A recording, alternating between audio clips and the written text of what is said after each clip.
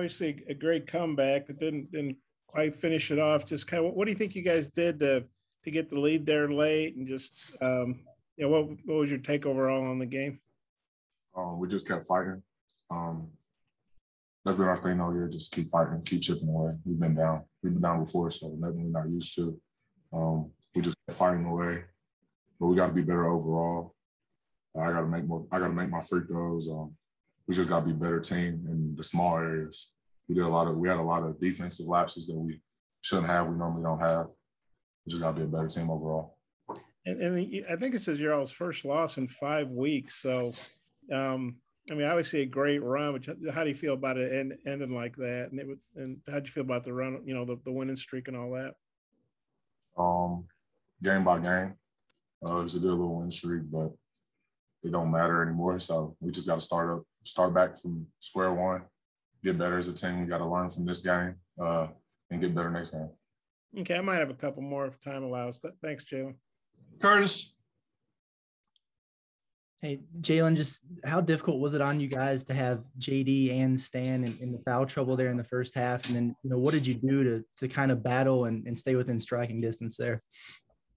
Um, yeah, it, it hurts when our best scorer, our best offensive facilitator is, is in foul trouble, of course, and we got to figure out a way to keep him out of foul trouble, or he has to be more disciplined in certain areas or something like that. But um, we've always been next man up. Um, we've had foul trouble before, and we kind of stayed ready, but we got to be better as a team overall when we do lose our best scorer, best facilitator. We got to be ready to stay in the game and not let them get a lead like they did. And then obviously, you know, disappointed in the loss, but you guys kind of got in the danger zone a couple of times there, down double digits, but you kept battling back.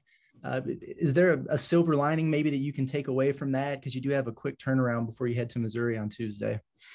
Um, we kind of we kind of been the team that never gives up. We just keep fighting out. Um, same thing last year for our last year's team, and I think it's the same thing for this year's team. We don't uh, stop fighting. That's kind of the thing that uh, Coach Musselman always preaches to us that we just keep fighting, keep playing hard. The game's not over until it says zero. So um, we're never out of the game until the time's up. So we just kept fighting throughout the game. Touch. Jaylin, I know it wasn't the result you wanted, but you had a career high 22 points today. How, how would you assess your your game? And uh, was it kind of a, a, game you felt like you were going to have to score? Or was it just a matter of stepping up with you know JD and, and Stanley in foul trouble? Um, I just got a lot of good open looks um, from them denying JD the ball first off, and they were kind of helping off on the guards a lot. Um, I got to do better on my three pointers, and I got to be more efficient on six fifteen. I got to make more shots, but um, I kind of it just kind of came to me, and I just played my role. Seemed like it was really tough on y'all to, to finish at the rim today. What do you attribute that to? Um, nothing. We just got to finish better. Scotty. Yeah, Jaylin, I was looking at the at some of the numbers, and you guys finished with 21 offensive rebounds, but just 10 second chance points today. Is there anything maybe you can put your finger on there as to as to you know why the the low number of second chance points? We just got to finish. Just that's really just it. We just got to finish through contact, even if or finish in general. But even if there's contact, we got to finish. Just finish strong at the rim then Alabama, I think they scored 28 points off you guys' turnovers. What, what did you guys kind of think about your your transition defense today? Um, we knew that was one of their things. They're a really good fast break team, and when they get the ball, they run, even if it's not on a turnover. But um, we have to limit our turnovers. We had 16, and we can't. We definitely can't let them turn into points on the other end and lead a fast break or pick six turnovers. So we just got to uh, do better in that area. Bob, follow up. Uh, Jaylin, you, you guys forced a lot of turnovers or Alabama. Maybe they were just turning it over, probably a combination, but you guys weren't able to score as much off that as you normally would. What we'll think of that? Couldn't quite take as much advantage maybe as usual in that department. Uh, yeah, I think that also goes with us having to finish.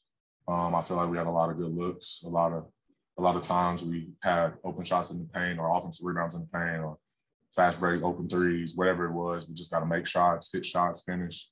Um, we just got to be better, a better team overall. And I, I guess it was, it was Gurley um, hitting some big baskets late. What what what'd you think of him? Uh, he had two of his four shots at the end on me. I got to be a better defensive player at the end. Um, just he had two really big shots. I, well, I didn't mean it was your fault. I meant just what you think of him making big plays for them. Uh, yeah, he made some really big shots, good shots. Let's got one more. You guys uh, got to play Missouri quick turnaround. You know, you beat them by 44 at home. I mean, they, they probably won't. They'll probably be ready for you guys. And what, what do you think about the rematch with Missouri? Um, we got to turn the page. New game. This game's over. We can't do anything to get this game back. So um, we got to come out as a better team when we go to Missouri. We got to be ready. We got to play like we can, play like we're capable of, and we got to go there and get a win. Big game is finally here as we hit Super Sunday with the last game of the football season. From scored, totals, player performance props to where the next fired coach is going to land, BetOnline is the number one spot for all things NFL betting in 2022. And with the new year comes a new updated desktop and mobile website. Sign up today and receive your 50% welcome bonus on your first deposit. Just use our promo code BLEAV to get started. That's B L E A V. And it's not just football. BetOnline's basketball, hockey, boxing, and UFC odds coverage is the best in the business. From sports right down to your favorite Vegas casino games, BetOnline is your number one online wagering destination. BetOnline, the fastest and easiest way to wager on all your favorite sports and play your favorite games. BetOnline, where the game starts.